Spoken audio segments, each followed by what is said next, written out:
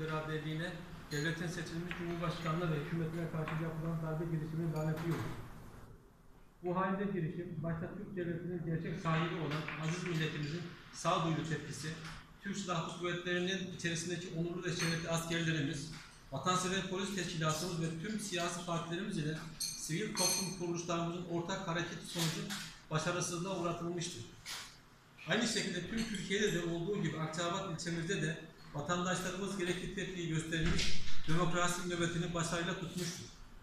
Bu hain terör saldırısının engellenmesini sağlayan başta tüm şehitlerimize, gazilerimize ve Türk milletine şükranlarımızı sunuyoruz.